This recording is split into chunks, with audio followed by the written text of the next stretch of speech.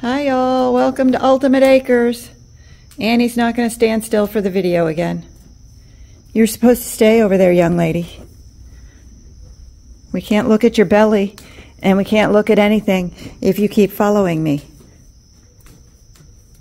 Stand still.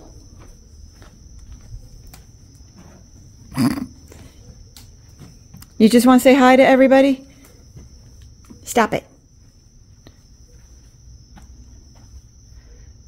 Here's her belly.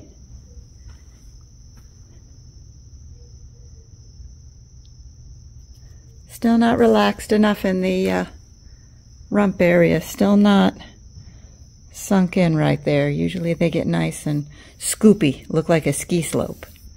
But she doesn't look ski slopey yet. Let's see what your milk looks like. Think we have a little more.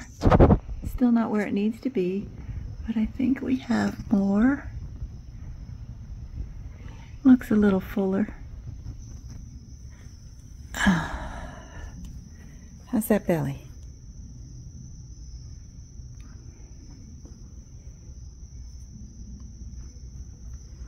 I think it looks like she might be shifting back a little. I think she looks a little fuller right here right in this area. I know it's harder to see from your angle. Let's see if this angle shows it a little better.